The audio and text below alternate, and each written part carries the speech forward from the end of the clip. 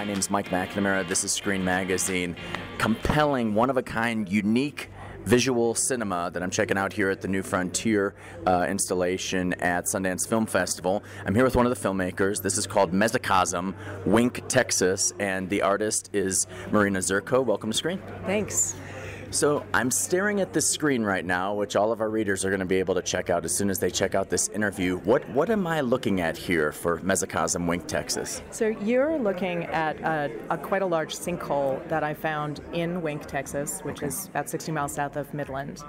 Uh, it the the piece that you're looking at is a software-driven, hand-drawn, real-time animation. Okay, and this is over the course of Okay, I just watched something come screaming out of the sinkhole. Guys, you're really going to enjoy this here. Uh, so, this is taken over the course of many hours, correct? Well, yeah, it's it. It was actually taken from one photograph. I had access to uh, the county commissioner who let me onto oil company land, and I got to photograph this sinkhole. The sinkhole collapsed from excessive flushing water through. Um, uh, drilling pipes. Um, and I happened to see this on Google Satellite, this big black hole, and okay. ended up sort of following this lead and ending up at this sinkhole. So it was one photograph and then a lot of research. I added the picnic table, I added the billboard, I added, I sort of wanted to turn it into a geologic event, like the way you would find a tourist site. So then you're gradually creating this environment and uh, over the course of, and you, you've been working on this. I mean, this seems like a very large undertaking. Um, it, it took about five months to make the piece with uh, two assistants, and it's all hand drawn uh, on a tablet. Um, it's all what's known as rotoscoping in animation language, which is basically tracing over live action video. Cool, guys. We're talking with Marina Zurkow and her piece, Mesocosm, Wink, Texas, that you guys can actually check out online right now. We have the links to it uh, right here on screenmag.com. So, I'm always interested, and it's, it's a simple question, but it's, it's certainly one people want to know. What led you to this brand of filmmaking? There had to be something where you said, man, you know, I see what those other folks are doing, and I just kind of want to do my own thing. What led you down this path? Yeah, because I come out of more traditional filmmaking and installation, hmm. and um, I was making linear pieces, meaning normal QuickTime movies in animation.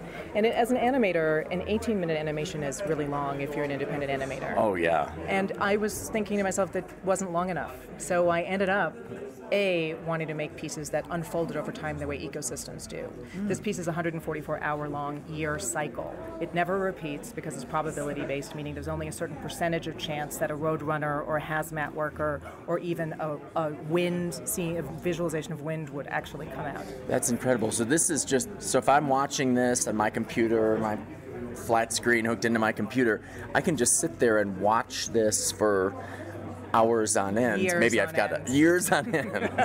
I mean, it's it's a slow burn. Okay, it's not cinema. It's right. not action cinema. Right. In Someone's fact, not going to jump in and start shooting there's, people. There's a, there's right. a, there, you're no. watching the ecosystem evolve. It's actually it, visually it's fascinating, and I think it's also a little fascinating that you know that every second you're watching, you're is, is a brand new second. Yeah. It's not. This isn't on a loop. I mean, my my my urge was to slow myself and viewers down that there's so much speed and so much expectation of things happening.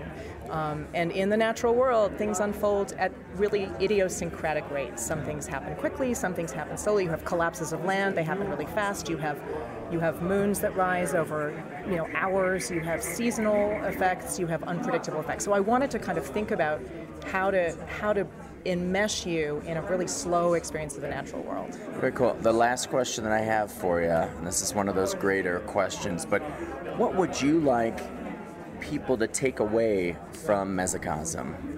I know that's always the toughest question, but when when you created this, is it just you know with people maybe slowing their life down a little, taking a little more time? Um, I think there's a lot to be said for intimacy and yeah. noticing. And so my hope is that from this piece and the one that I made about Northern England, that you have a, an increased sensitivity to small events in your natural world.